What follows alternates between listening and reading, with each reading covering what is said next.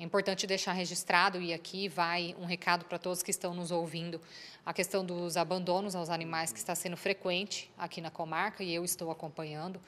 Importante mencionar que o abandono de animais é considerado uma espécie de maus tratos, portanto é crime, previsto com detenção.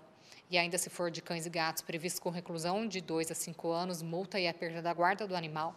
Então, essas pessoas que estão tendo o costume de abandonar animais nas ruas, que estão acostumadas a deixar esses animais lá na porta do canil, que comecem a repensar essas atitudes, porque agora aumentando-se a fiscalização na comarca de Alto Garças, com a instalação de novas câmeras de vigilância, será possível identificar os que estão perpetrando condutas como essas e será possível que o judiciário consiga exercer a punição que for necessária. E importante a gente destacar também, doutora, sobre o abandono de animais de grande porte, ou até mesmo aqueles animais que são deixados soltos no nosso município. Isso também é importante destacar. Sim, é, tem sido feita uma fiscalização a respeito disso.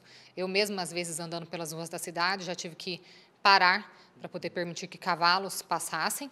Essa situação não acontece só comigo, inclusive a gente acompanha isso com frequência, mas imediatamente foram tomadas as providências, então, pelo menos por hora, essa situação parece estar sob controle.